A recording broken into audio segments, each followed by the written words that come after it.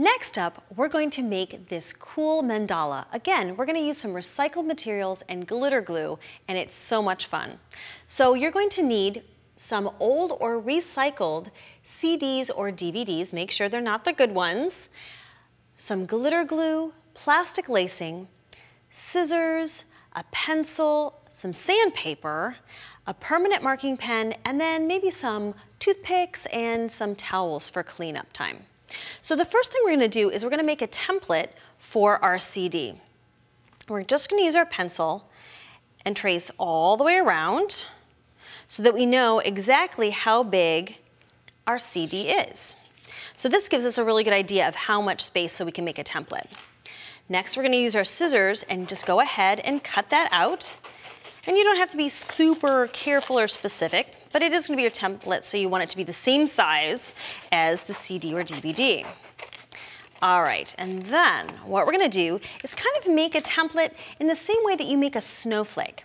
So we're gonna take the circle, we're gonna fold it in half, we're gonna fold it into thirds. That gives us six equal segments.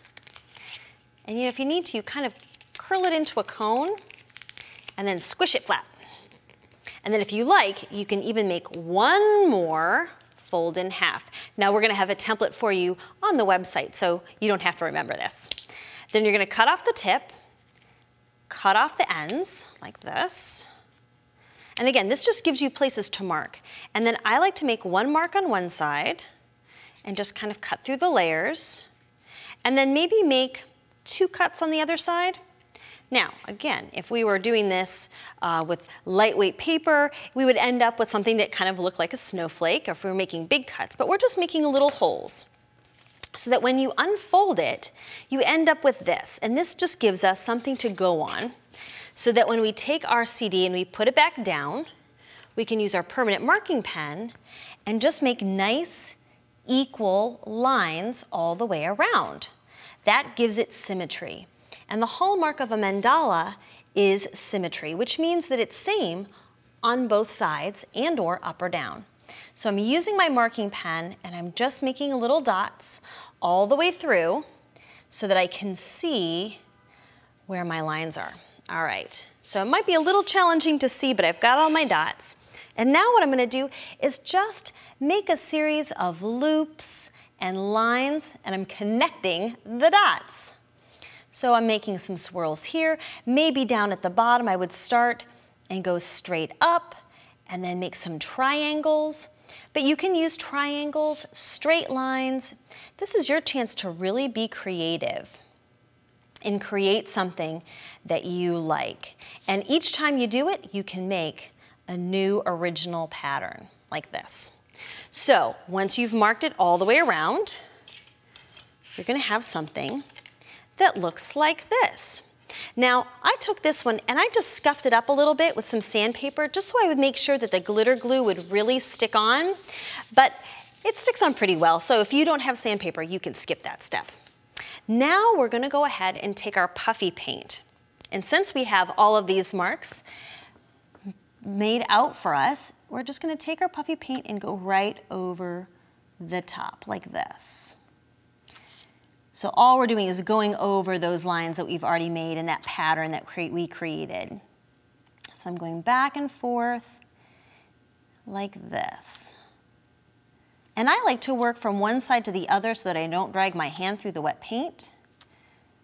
But take your time. Yeah, just like so.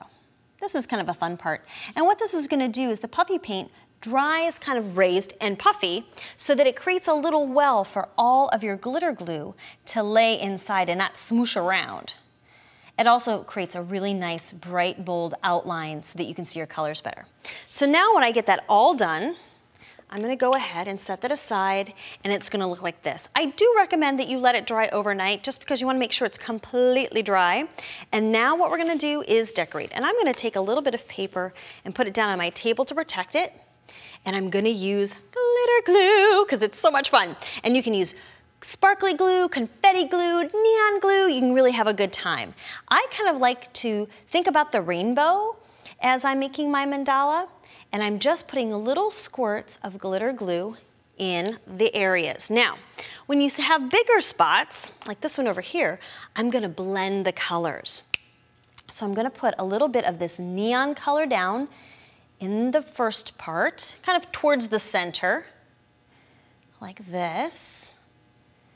And then I'm gonna take a secondary color and kind of put it to the outside in the same little zone, right? So what I'm doing is it's a symmetrical pattern and I'm going back and forth. And then what I'll do is just take a toothpick and do a little blending back and forth, like so. So when you've got it all filled up just the way you want, you're gonna wanna create a hanging cord. So you can take a piece of plastic lacing and your CD, thread it through like this, and create a little knot using both parts at the same time. So you're gonna kind of wrap it around and then poke through like this, and then repeat at the top so you have a way of hanging it up. And when the sun hits it, it sparkles and shines.